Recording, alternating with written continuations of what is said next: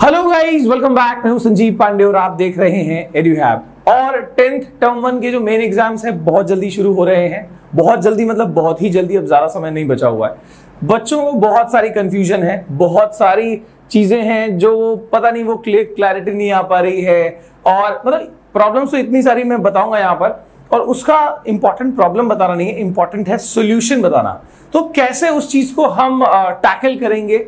ये जो समय बचा हुआ है, इसको हम कैसे बेहतरीन इस्तेमाल में ला सकते हैं कि हम अपने उस बड़े वाले एम को हासिल कर सके। जी हाँ एम जो है ना मतलब इट कैन बी लाइक तुमको चाहे जो भी मार्क्स uh, दिमाग में रखा है ना थोड़ा सा और बढ़ा के ही रखो।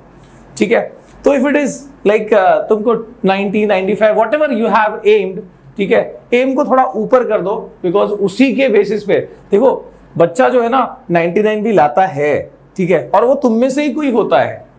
और तुम एम ही 99 का नहीं रखो तुम 95 का रख रहे हो 90 का रख रहे हो तो क्या होगा? ठीक है? और तो मतलब ये नहीं है कि ये भी हो सकता है मे भी आपको आप सोचोगे हाँ भाई चलो 80 आ जाए ना 85 आ जाए तो भी ठीक है। ओके लेकिन लेकिन आ, अगर क्या ही बुराई है भाई साहब अगर थोड़ा इसको ऊपर ले जाया जाए। ओके तो अब यहाँ पर बात करते हैं दिक्कतें क्या क्या आती है वो मैं आपको बताऊँगा। ठीक है? तो चलते हैं। और एक बहुत ही इंपॉर्टेंट लास्ट में एक बहुत ही इंपॉर्टेंट चीज़ है। जो मेरे को आपको शेयर करनी है। एक चीज़ मैं आपको देखो, यहीं पे चलते देखो, ये लाना सबको है है ना? कुछ ना कुछ यहाँ पर बड़ा वाला एम आपने रखा हुआ है, ठीक है? जो शायद लगता है कि यार मेरी औकात के बाहर है। ऐसा भी लग सकता है, ठीक है? अब उसके लिए जो चीज़ चाहिए होती है ना, वो किसी को नहीं करनी होती। मतलब आपको डिस्ट्रैक्ट होना है, आपको फालतू के वीडियोस देखने हैं, आपको सारा कुछ करना है और उसके बाद में ये लाना है। हाउ इज़ दैट पॉसिबल तो एक कहावत है ना कि everybody wants to go to heaven but no one wants to die है ना? स्वर्ग सबको जाना है, पर मरना किसी को नहीं। ये मार्क्स सबको लाने हैं, पर ये सारी चीज़ें जो है ना, ये नहीं चाहिए। हार्डवर्क नहीं करना, ठीक है? डिसिप्लिन के साथ कंसिस्टेंसी के साथ पढ़ाई नहीं करना, ठीक है? प्लानिंग नहीं करना, और ये अज्यूम करना कि हाँ भाई, मैंने जो किया है ना, वो सब सही है। मतलब आप चाहते हो कि इस बार कुछ डिफरेंट रिज़ल्ट आए लेकिन आप कर वही रहे हो जो आप अब तक करते आए हो। How is that possible man कुछ तो अलग करना पड़ेगा। ठीक है? तो आइए चलते हैं पहले थोड़ा परेशानी देख लेते हैं। लास्ट में एक बहुत ही ज़बरदस्त चीज़ है। I want to share it okay अब आ, देखो पढ़ के नहीं हुआ। ठीक है? पढ़ के नहीं हुआ। अब देखो ये इसमें से ही तुम्हारा एक आध रीजन तो तुम्हारा होगा इसमें से। ठीक है, पढ़ा है पर डर लग रहा है। बहुत सारे बच्चों का ये होगा। ठीक है, मैं गारंटी देता हूँ ये वाला होगा। पढ़ा है पर डर लग रहा है। ठीक है, उसके बाद दिन रात मोटिवेशनल वीडियो देखने में टाइम जा रहा है डेफिनेटली ठीक है बैड हैबिट्स में टाइम वेस्ट हो रहा है। ये भी होगा कई बच्चों का। ठीक है, मेरे, मेरा लाइफ में बहुत प्रॉब्लम्स चल रहा है। ठीक है, अब वो प्रॉब्लम्स एज सच हो भी सकता है ठीक है? या फिर ऐसा है कि बस वो क्रिएट हो गया है दोनों चीज़ें हो सकती है ठीक है? प्रॉब्लम्स हो भी सकता है तो उसके ऊपर मैं एक पॉइंट कहना चाहूँगा ठीक है? इस वाले के ऊपर भी आ रहा है वो, वो जो लास्ट में जो लाइन ऐड करो ना ये इसका बहुत तगड़ा वाला उसमें सोल्यूशन होगा ठीक है? मेरे पास वो वाली किताब नहीं है मैं एवरेज बच्चा हूँ ये तो ये ये वाला कैटेगरी तो उसने खुद ही डिफाइन कर दिया ठीक है? मैं एवरेज बच्चा हूँ जब तुमने यही मान लिया तो तुम क्यों वो कोशिश करो? छोड़ दो। राइट एवरेज बच्चे हो। किसने बता दिया तुमको? कोई एवरेज नहीं होता। अब आते हैं अपने मेन जो जिस चीज़ के ऊपर ये वीडियो है वो मैं आपको बता रहा हूँ। हाउ सच प्रॉब्लम जो भी तुम्हारे दिमाग में चल रहा है ना, इसके अलावा भी कोई क्वेश्चन ना, मुझे कमेंट करके बताना। लेकिन उस सबका सोल्यूशन यहीं पर और यही वाली पार्ट में, यहाँ पर मैं कुछ आपको बता ठीक है? पहले देख लो कि एक एवरेज रिज़ल्ट और एक आउटस्टैंडिंग रिज़ल्ट ठीक है? या एक जिसने अपने आप को एवरेज कह दिया और जो अपने आप को आउटस्टैंडिंग मानने लगा मतलब this is like overconfidence नहीं आना चाहिए बट मैं कह रहा हूँ कि जो आता है जिसका आता है क्यों आता है? सो so, यहाँ पर होता है डिस्ट्रैक्शन दुनिया भर के डिस्ट्रैक्शन ठीक है? चाहे वो फ़ोन से हो सकता है चाहे आप अपने दोस्तों के साथ अभी इस समय दिस इज़ लाइक कि ये ना ऐसा टाइम है जो मेडिटेट करने वाला है। मेडिटेट मतलब क्या? जो ध्यान में लगने वाला है।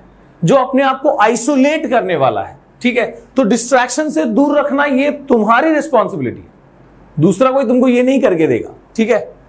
सर, मेरा, मैं छोटे, मेरा रूम छोटा है, ठीक है? मेरा घर छोटा है तो उसमें सब लोग रहते हैं, बातचीत हो रही होती है। फिर भी ऐसे बच्चे भी टॉप कर रहे होते हैं। ज़्यादा जो रेशियो है, ऐसे बच्चों का है टॉप करने का। कुछ तो कर रहे होंगे भाई साहब, ठीक है? सो यहाँ डिस्ट्रैक्शन है, यहाँ फोकस है। तुम देखो, हम, मैं बता रहा हूँ, यहाँ पर मुंबई के पास जब हम लोकल में सफ़र कर रहे होते हैं ना तो यहाँ पर इतनी ज़्यादा भीड़ होती है ना लोकल ट्रेन में कि लिटरली आदमी जो है ना डिस्ट्रैक्शन इतना ज़्यादा होगा कि वो, जिसका कोई हिसाब नहीं। उसके अंदर भी लोग न्यूज़पेपर पढ़ रहे होते हैं, उसके अंदर भी लोग कुछ अपना ऐसा काम कर रहे होते हैं, और वो बिना, इतने शोरोगुल के अंदर वो चीज़ हो रही होती है। तो डिस्ट्रैक्शन के दस बहाने हो सकते हैं फोकस का एक ही। कि तुमको बस फोकस ही करना है। डिस्ट्रैक्शन दस चीज़ों पर ध्यान जाएगा। फोकस में बस एक ही चीज़ पे ध्यान लगाना है। ठीक है? फियर डर होता है यहाँ पर। एवरेज वाले के पास डर होता है और जो आउटस्टैंडिंग वाला होता है, उसके पास कॉन्फिडेंस होता है। ठीक है? मतलब उसके पास, उसका समझो, अगर ऐसे टाइम पे भी लगता है कि नहीं, ज़्यादा पढ़ के नहीं हुआ ना तो भी वो डरेगा नहीं। वो उसके लिए तैयारी करेगा। और उसको विश्वास है कि उसका उतने स्पैन में वो कर लेगा। उसको पता है कि भाई, ये बड़ा वाला चैप्टर मैं आज ही करूँगा। और वो आज कर लेता है, क्योंकि उसका कॉन्फिडेंस उतना हाई होता है। ठीक है? और जो डर वाला है ना, वो पूरा पढ़ा है ना कंप्लीट भी पढ़ा है ना, तब भी वो डर में रहेगा और उसकी वजह से उसके नंबर कम आएँगे। ठीक है? यहाँ पर हमेशा सपोर्ट चाहिए। अरे, तू भी चल यार, मैं अकेले नहीं जाऊँगा, मैं अकेले नहीं पढ़ सकता, मेरे को कोई साथ में चाहिए पूरा time how is that possible अगर तुमको टॉप ही करना है, सोच ही लिया है तो तुमको भाई अकेले चलना आना चाहिए। ठीक है? बिकॉज़ जितना डिफ़िकल्ट रास्ता होता है, रास्ता जितना हार्ड होता है ना, उतना वो नैरो हो जाता है, उतना तुम साथ में नहीं चल सकते, उतना तुमको अकेले ही चलना है, उतना वो कठिन हो जाता है, ये याद रखना है, ठीक है? ये वाली कैटेगरी को नींद से बड़ा प्यार होता है। ठंड का मौसम यार, बहुत ज़बरदस्त नींद आ रही है, मैं तो बर्दाश्त नहीं कर सकता, ठीक है? या तो कोई मेरे साथ उठा रहा है, तब मैं पढ़ूँगा, ठीक है? नहीं तो मैं नहीं पढ़ रहा। अरे मत पढ़ो भाई, ठीक है? किसका बिगाड़ लोग? मैं सिंपल बात कह रहा हूँ। ठीक है? तो यहाँ पर नींद से प्यार है और यहाँ पर क्या है? नींद की कुर्बानी दी जाती है। क्योंकि यहाँ पर सपनों से, वो जो उड़ान है, उससे प्यार है। ठीक है? सर एम तो मेरा बहुत बड़ा है। मुझे पायलट बनना है। या मुझे कुछ, देश के लिए कुछ करना है। भाई साहब, पहला स्टेप यही है। अभी के लिए तुम्हारा पहला स्टेप यही है। ठीक है? तो अपने आप को कौन सी कैटेगरी में देखते हो? ये ए या फिर ए ही लिखता हूँ but this is not as such A and this is B कौन सी कैटेगरी में लिखते हो? इससे कोई फ़र्क नहीं पड़ता कि तुम तीन घंटे पढ़ रहे हो, कि तुम दस घंटे पढ़ रहे हो, कोई फ़र्क नहीं पड़ता। ठीक है? फ़र्क पड़ता है कि तुम उस समय को कितनी डेडिकेशन से यूज़ कर रहे हो। कम टाइम में, है ना, ज़्यादा आउटपुट प्रोड्यूस करना लेस इनपुट मोर आउटपुट ये चीज़ होती है एफिशिएंसी और इसी से आता है रिज़ल्ट ठीक है? अब मैं आता हूँ एग्जैक्टली exactly वो पॉइंट जिसके ऊपर पूरा जो तुम्हारा जितना प्रॉब्लम्स है ना, उन सबका यहाँ पर सोल्यूशन मैं आपको बताऊँगा। ठीक है? चाहे तुम्हारा अब तक जितना भी पढ़ के हुआ मैं नहीं पूछ रहा कि 10 परसेंट, बीस परसेंट, तीस चालीस पचास, उससे कोई, देखो, मैं मैं फ़िलहाल कह रहा हूँ कि उसको साइड में रखो। क्योंकि इस पॉइंट पे अगर, इस रेस की लाइन पर अगर मैं, एक बच्चा है जो अपने आप को इस कैटेगरी में रखता है और एक है जो यहाँ पर है। अगर मैं दोनों को कहूँ कि भाई दोनों का प्रिपरेशन अब तक सपोज़ थर्टी परसेंट ही हुआ है, सिर्फ़, तब भी जो इस कैटेगरी में आता है ना बी कैटेगरी में, वो अपने आप को यहाँ से भी आगे ले जाएगा। चाहे पाँच घंटा पढ़ रहा हो, चाहे तीन घंटा पढ़ रहे हो, फिर भी ये अपने को वहाँ ले जाएगा। बिकॉज़ ये जो ये जो ये जो चीज़ें है ना मतलब डिस्ट्रैक्शन को दूर रखना, अपने पास फोकस रखना फियर को दूर रखना कॉन्फिडेंस रखना, इन सब चीज़ों की वजह से वो हमेशा अपने आप को आगे ही पाए ठीक है? और क्योंकि ये चीज़ें हैं जो तुमको डराती हैं या डिस्ट्रैक्ट करती हैं तो ऐसी चीज़ों की वजह से तुम उस लाइन में काफ़ी पीछे रह जाओ ठीक है?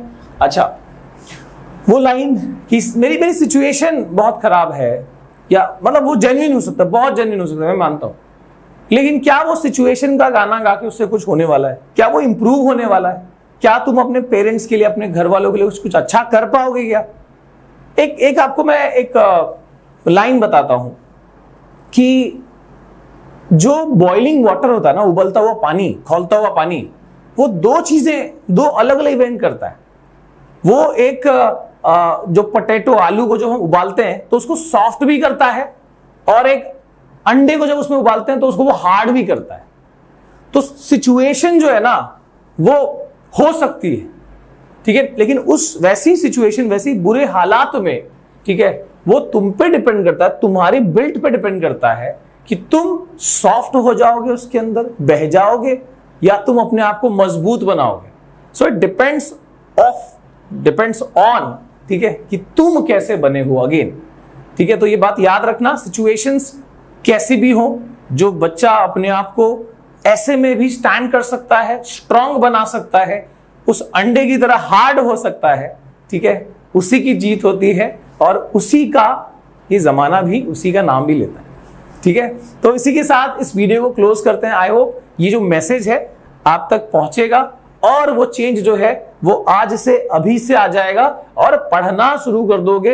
ये डिस्ट्रैक्शन वाली चीज़ों को अपने आप से दूर करोगे, डर को अपने अंदर से भगाओगे और जो एक्चुअल काम करना चाहिए ना, वो करोगे, ठीक है? अभी से भी अगर प्रोएक्टिव हो जाते हो सेंसिबल हो जाते हो तो सब चीज़ें साइड होंगी और तुम बहुत ज़बरदस्त तरीके से फोकस करोगे।